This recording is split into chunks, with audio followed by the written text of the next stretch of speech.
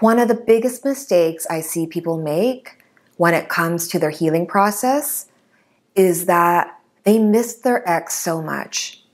And because of the missing, to not feel that discomfort, they get back together with their ex. Or they call them, email them, text them, and do something that they regret, which just adds to this feeling of shame. We don't want to do that. And I'm going to teach you a tool to help you when you miss your ex and you have that feeling of maybe I can work it out. We talked about this before the denial and the bargaining stage. Often, what happens is after a breakup, we will put our ex on a pedestal or we will vilify them. Let's talk about what happens when we pedestal them. We suddenly forget all the reasons why you broke up in the first place.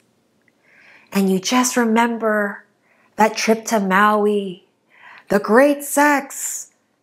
You don't remember the terrible fight that happened before the great sex. You don't remember how you fought all the way to Maui. But suddenly, it's only the nostalgia. When we put our ex on a pedestal, again, we are not rooted in reality and we are in fantasy land.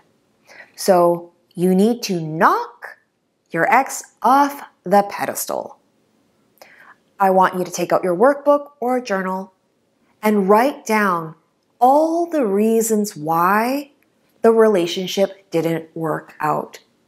You don't need to blame or vilify them, but be factual. It didn't work out because they were avoidant of my emotions. They shut down all the time. They were physically or emotionally abusive. Write down a laundry list. And the next time you are having that craving, I want you to either review this list or in your phone, in the notes section, rewrite the list of all the reasons why it didn't work out and why this person is not the right partner for you. This will knock you out of fantasy land and nostalgia and get you grounded into reality.